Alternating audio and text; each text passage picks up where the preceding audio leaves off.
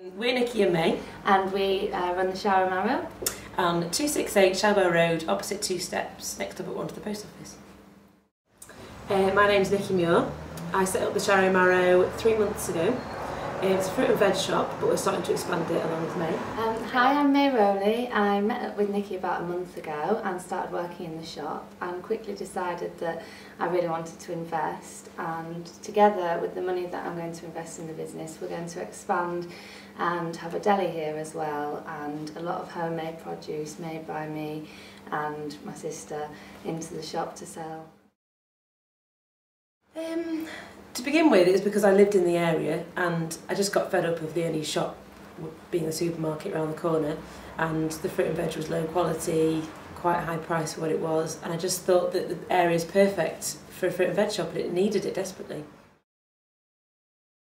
Yeah, because I lived in the area, I, I know the people, I know the shoppers as, as, it, as it was that would are in this area and therefore we knew what would work and what people would want to buy and I think as well there's a really like strong sense of community in Charleville already. There's yeah, the definitely. primary school, there's really old established businesses down here that have been working for years and people are really you know fond of those businesses so I think what we're both really hoping for is that people are as receptive to us as they are to other businesses. Yeah. I feel that our unique selling point is we're a Sheffield shop for Sheffield people and we're going to try and make as many things locally in Sheffield, homemade cakes, cordials and once we have the deli we'll ex expand that onto ready-made food as well and local Yorkshire cheeses. We have local Yorkshire fruit and veg like peas from Doncaster. yeah, local Sheffield honey. Have control over what you want to do, the time you have off, and just I think it means for me I prefer it because when in jobs I've had I've not enjoyed, I've not put everything into them.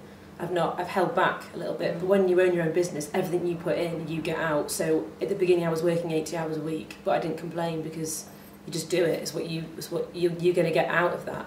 And you're the same, like you're, yeah, you're baking. finally like- found an outlet for something that I'm really passionate about and that's a better feeling than, you know, any other job that you could imagine. Like finally Yeah. pinning down what you want to do and having like luckily having the backing to do it and having Nikki and having the outlet to do it is fantastic and I would say to anybody out there that is looking for their ideal job just go for it just try your hardest and yeah, go for it definitely.